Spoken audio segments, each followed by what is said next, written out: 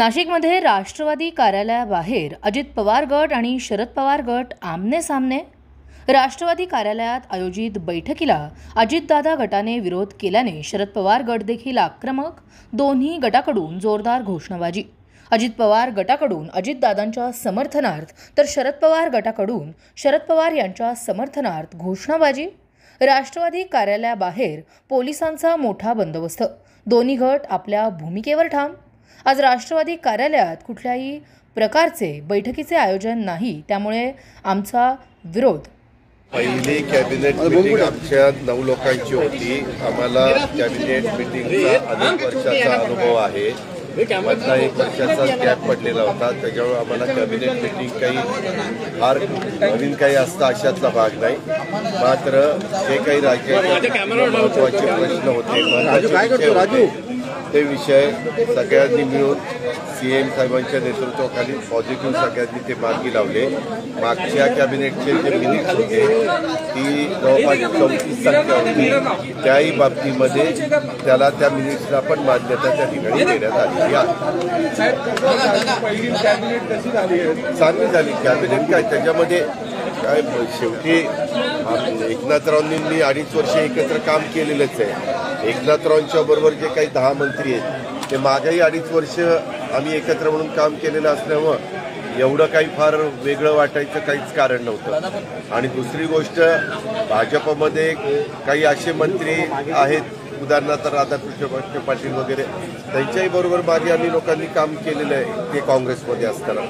त्याच्यामुळे मला काही त्याच्यात फार काही वेगळं वाटत नाही. आम- मी विकासाच्या मुद्द्याच्या करता या सरकारच्या बरोबर आलेलो आहे.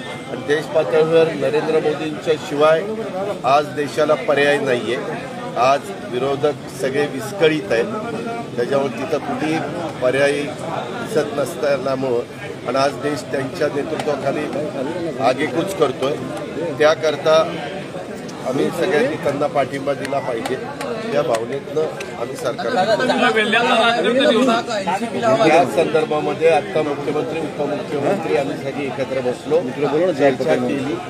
ते आता राष्ट्रपती महोदया आज सहा वाजता येत आहेत चार वाजता त्यांना कुठल्याही परिस्थितीत टेक ऑफ घ्यायचा आहे नागपूरला जायला. कारण वेलकम करण्याच्या करता सी एमनी हजर असलं पाहिजे. आणि प्रोटोकॉल डिपार्टमेंट देवेंद्र फडणवीस साहेबांच्याकडे आणि ते नागपूरचे पालकमंत्री त्याच्यामुळे ते दोन्ही त्या ठिकाणी जाणार आहेत. आज काही दुःखद घटना धुळ्याच्या बाबतीमध्ये घडलेली. त्याचा थोडासा मी रिपोर्ट घेतला आहे परंतु आता मी परत जाऊन त्याच्याबद्दलची माहिती घेतो. पण तिथं गिरीश महाजन साहेबांना ताबडतोब सरकारनी सरकारचा प्रतिनिधी सगळ्यांना आज रात्री ते राष्ट्रपती महोदयांचं वेलकम केल्यानंतर ते म्हणले आम्ही रात्री दोघे बसतो आणि पुन्हा तिथनं जर वेळ पडली तर तुमच्याशी संपर्क साधतो परंतु आम्ही एकत्रपणे काम करायचं ठरवलेलं आहे. त्यात कुठलीही नाराजी नाही. त्या संदर्भामध्ये कुठली अडचण मला तरी वाटत.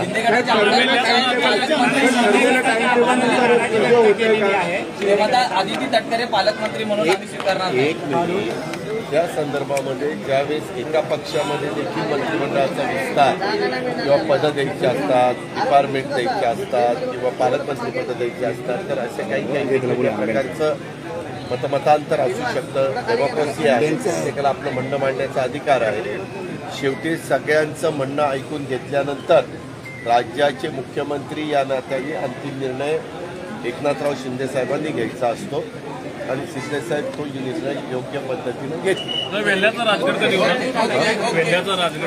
नाही नाही आज आज तो विषय नव्हता. मी काल मी ते त्याची मागणी मागं पत्र दिलेलं होतं. त्यावेळेस मी विरोधी पक्षनेता म्हणून पत्र दिलेलं होतं. आता राज्याचा एक घटक म्हणून उपमुख्यमंत्री म्हणून त्या संदर्भामध्ये त्या सगळ्या गोष्टीच्या बद्दलची जी काही तयारी करायची असते कॅबिनेटला नोट आणण्याच्या करता त्या सगळ्या गोष्टी करून ते आम्ही करू कारण ते माझीच त्याच्यामध्ये मागणी होती.